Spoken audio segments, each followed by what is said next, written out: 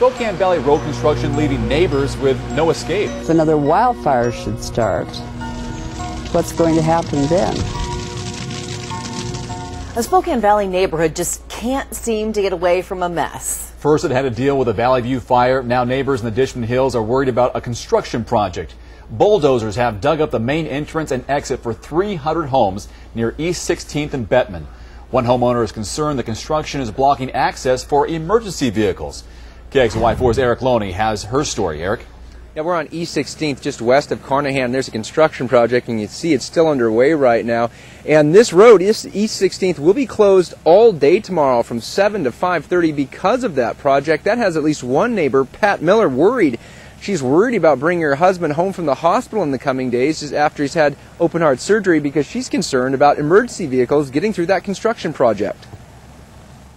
My concern is the limited access to this area. Pat Miller is feeling trapped. We only have two roads into this area. Her home near 18th and Seahorn is in the middle of a major water and sewer project.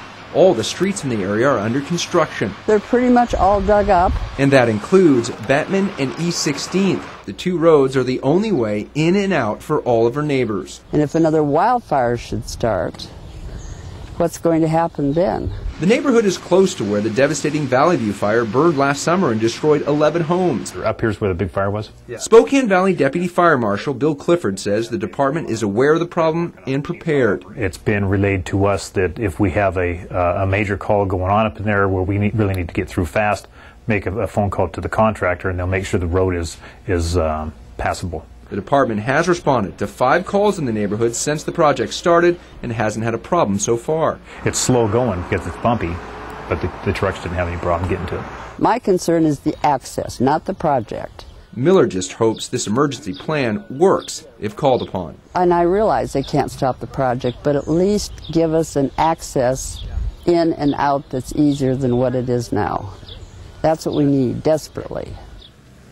Tomorrow, Bettman will still be open for traffic to get out of the neighborhood. Miller's husband said it won't be out of the hospital for a week or two. She's still not sure what they're going to do about bringing him home. Now, this project is supposed to be underway and not wrap up until October 15th.